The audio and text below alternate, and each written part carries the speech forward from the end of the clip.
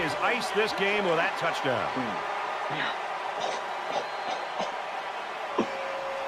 Jeez, that was so dirty.